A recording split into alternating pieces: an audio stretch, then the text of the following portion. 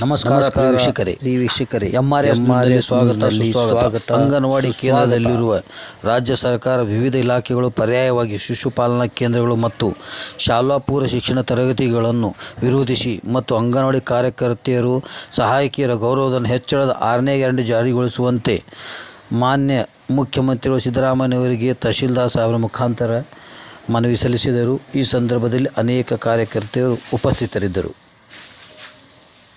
ಮಾಡಬೇಕು ನಮ್ಮದೊಂದು ಸ್ವಲ್ಪ ಹೈಲೈಟ್ ಮಾಡ್ಬೇಕಂತ ನಮ್ಗೆಲ್ಲರಿಗೂ ಕೇಳ್ಕೊಂಡು ಇವತ್ತಿನ ಸಭೆಯನ್ನು ಇಲ್ಲಿಗೆ ಒತ್ತಾಯ ಮಾಡ್ತೀವಿ. ಜೈ ಹಿಂದ್ ಜೈ ಕರ್ನಾಟಕ. ಇವತ್ತು ಕರ್ನಾಟಕ ರಾಜ್ಯ ಅಂಗನವಾಡಿ ಕಾರ್ಯಕರ್ತೆಯರ ಮತ್ತು ಸಹಾಯಕಿಯರ federation A I U T A I T U C ಇಂದ ನಾವು ಇವತ್ತು ಹೋರಾಟ ಮಾಡಲಿಕ್ಕೆ ಬಂದಿದ್ದೇವೆ. ಹೋರಾಟ ಅಂದ್ರೆ ನ್ಯಾಯಕ್ಕಾಗಿ ಹೋರಾಟ ಅಂತ ಹೇಳ್ಬೋದು. ಏಕೆಂದ್ರೆ ಸುಮಾರು ನಲವತ್ತು ವರ್ಷದಿಂದ ನಡೆಯುವಂತ ಒಂದು ಐ ಸಿ ಡಿ ಎಸ್ ಯೋಜನೆ ದೀರ್ಘವಾಗಿ ನಡೆಯುವಂಥ ಐ ಸಿ ಡಿ ಎಸ್ ಯೋಜನೆಯಲ್ಲಿ ಸಾವಿರಾರು ಲಕ್ಷಗಟ್ಟಲೆ ಭಾರತದಲ್ಲಿ ಅಂಗನವಾಡಿ ಕಾರ್ಯಕರ್ತೆಯರು, ಸಹಾಯಕಿಯರು ದುಡಿತಾ ಇದ್ದಾರೆ. ಇವತ್ತು ಪ್ರೈಮರಿ ಹೈಸ್ಕೂಲ್ ಟೀಚರ್ಗೆ ಒಂದು ಕನಿಷ್ಠ ವೇತನ ಅಂತ ಹೇಳಿದೆ. ಆದರೆ ಯಾಕೆ ಅಂಗನವಾಡಿ ಕಾರ್ಯಕರ್ತೆ ಮತ್ತು ಸಹಾಯಕಿಯರಿಗೆ ಈ ಒಂದು ಸೌಲಭ್ಯ ಇಲ್ಲ ಅಂತ ಹೇಳಿ ನಾವು ಸರ್ಕಾರದಿಂದ ಕೇಳ್ತಾ ಇದ್ದೇವೆ. ಸರ್ಕಾರದವರು ಕನಿಷ್ಠ ಹದಿನೈದು ಸಾವಿರ ಒಂದು ಅಂಗನವಾಡಿ ಕಾರ್ಯಕರ್ತೆಗೆ ಗೌರವಧನ, ಆಮೇಲೆ ಸಹಾಯಕಿಯಗೆ ಹತ್ತು ಸಾವಿರ ಗೌರವಧನವನ್ನು ನೀಡುತ್ತೇನೆ ಎಂದು ಆರನೇ ಗ್ಯಾರಂಟಿ ಅಂತ ಹೇಳಿದ್ರು. ಮಹಿಳಾ ಶಕ್ತಿಗೆ ನಾವು ಸ್ವಾಗತ ಮಾಡ್ತೇವೆ.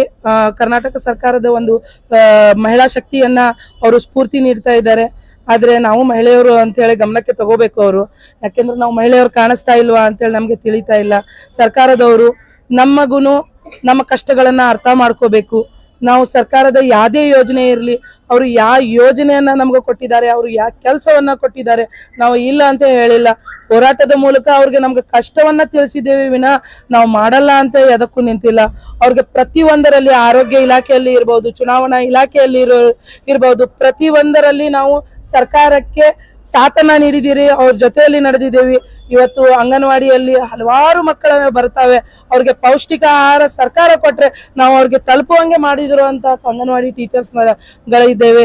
ನಾವು ಮಕ್ಕಳಿಗೆ ಇವತ್ತು ತನಕ ಯಾರಾದರೂ ಅಂಗನವಾಡಿಯಲ್ಲಿ ಮಕ್ಕಳಿಗೆ ಯಾರಾದರೂ ದುಡ್ಡು ತಗೊಂಡಿದ್ದು ನಾವು ತಿಂಗಳ ನಾವು ನಮಗೆ ಫೀಸ್ ಕೊಡ್ಬೇಕಂತ ಯಾವುದೋ ಅಂಗನವಾಡಿ ಕಾರ್ಯಕರ್ತೆ ಯಾವತ್ತೂ ಯಾರಿಗೂ ಮೋಸ ಮಾಡಿಲ್ಲ.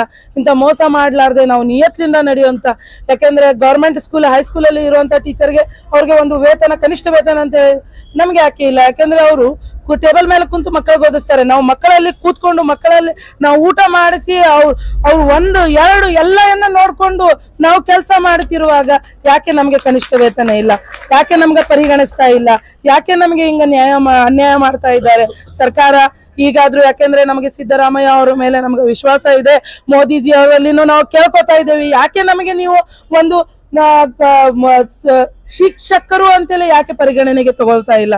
ನಮ್ಗೆ ಯಾಕೆ ನಮ್ಮ ಮೇಲೆ ಹಿಂಗ ಅನ್ಯಾಯ ಮಾಡ್ತಾ ಇದ್ದಾರೆ ಮೋದಿಜಿ ಅವರು? ಸಿದ್ದರಾಮಯ್ಯ ಅವ್ರ ಮೇಲೆ ನಮ್ಗೆ ವಿಶ್ವಾಸ ಇದೆ, ಭರವಸೆ ಇದೆ.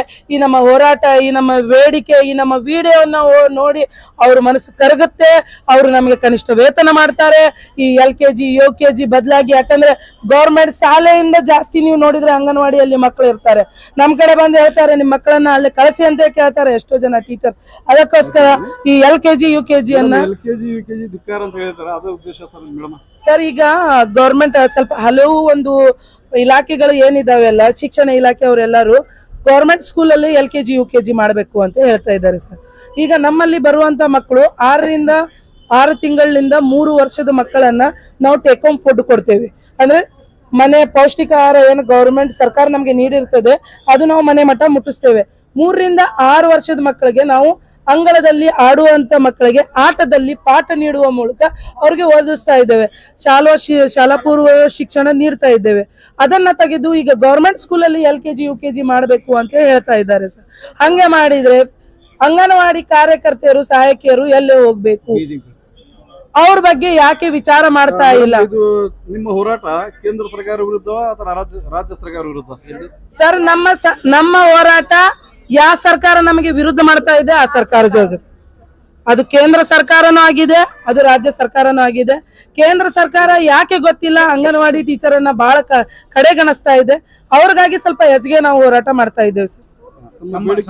ಸ್ವಲ್ಪ ಬೇಡಿಕೆ ಏನೈತಿ? ಬೇಡಿಕೆ ಉದ್ದೇಶ ಮೇನ್. ಏನೇನ್ ಬೇಡಿಕೆ ಅದಾವ್ರಿ ಮೇಡಮ್? ಮೊದಲನೇ ಬೇಡಿಕೆ ಹದಿನೈದು ಸಾವಿರ ರೂಪಾಯಿ ಅಂಗನವಾಡಿ ಕಾರ್ಯಕರ್ತೆಗೆ ಕನಿಷ್ಠ ವೇತನ ಮಾಡ್ತೇನೆ ಅಂತ ಆಲ್ರೆಡಿ ನಮ್ ಸಿದ್ದರಾಮಯ್ಯ ಸರ್ ಅವರ ಹೇಳ್ಯಾರ. ಅವ್ರು ಯಾವಾಗ ಹೇಳಾರ ಇಲೆಕ್ಷನ್ಕಿಂತ ಮೊದ್ಲು ಹೇಳಿದ್ರ. ಅವ್ರು ಇಲೆಕ್ಷನ್ಕಿಂತ ಮೊದ್ಲು ಹೇಳಿದ್ರ, ಉಳಿದಿದ್ದ ಐದು ಗ್ಯಾರಂಟಿಯನ್ನ ಪೂರ್- ಪೂರ್ತಿ ಮಾಡ್ಯಾರ. ಯಾಕೆ ನಮ್ ಗ್ಯಾರಂಟಿ ಒಳಗ ಪೂರ್ತಿ ಮಾಡಕತ್ತಿಲ್ಲ ಅಂತೇಳಿ ಅಂಗನವಾಡಿ ಕಾರ್ಯಕರ್ತೆಗೆ ಹದಿನೈದು, ಅಂಗನವಾಡಿ ಸಹಾಯಕಿ ಅವ್ರಿಗೆ ಹತ್ತು ಸಾವಿರ ರೂಪಾಯಿ ಕನಿಷ್ಠ ವೇತನ ಕೊಡ್ತೇನೆ ಅಂತ ಹೇಳ್ಯಾರ. ಅದ್ ಸ್ವಲ್ಪ ಬೇಗನೆ ಕೊಟ್ರಂದ್ರ ಎಷ್ಟೋ ಜನರಿಗೆ ಬಹಳಷ್ಟು ಸಮಸ್ಯೆ ಐತಿ. ಮಕ್ಕಳ ಫೀಸ್ ತುಂಬಿಲ್ಲ ಸರ್. ಗತಿ ಅಲ್ಲಿಗೆ ಬಂದಿದೆ. ಯಾಕಂದ್ರೆ ಬಹಳಷ್ಟು ಜನ ವಿಧವಾ ಇದಾರೆ. ಗಂಡ್ ಬಿಟ್ಟವ್ರು ಇದಾರೆ ಆದ್ರೂ ಇಲ್ಲಿ ದುಡಿಗ್ ಬಂದಿದ್ದಾರೆ. ಯಾಕಂದ್ರ ತನ್ನ ಮಕ್ಕಳಿಗೆ ತಾನು ಸಾಕ್ಬಹುದು ಅವ್ರಿಗೆ ಸ್ವಾವಲಂಬಿ ಮಾಡಬಹುದು ಅಂತೇಳಿ ಅಲ್ಲಿ ಇಲ್ಲ, ಆಮೇಲೆ ಮೂರ್ ಲಕ್ಷ ರೂಪಾಯಿ ಇಡೀ ಗಂಟು ಕೊಡ್ತೇನೆ ಅಂತ ಹೇಳಿದ್ರು ಸರ್.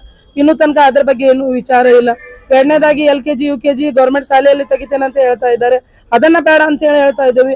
ಮೂರನೇದಾಗಿ ಶಿಶುಪಾಲನಾ ಕೇಂದ್ರಗಳನ್ನ ಮಾಡ್ತೇನೆ ಅಂತ ಹೇಳ್ತಾರೆ. ಅದರ ಅವಶ್ಯಕತೆನೇ ಇಲ್ಲ ಸರ್. ಅದನ್ನ ಮಾಡಬೇಡಿ ಅಂತ ಈ ಮೂರು ಬೇಡಿಕೆಗಳನ್ನ ನಾವು ಇಟ್ಟಿದ್ದೇವೆ ಸರ್.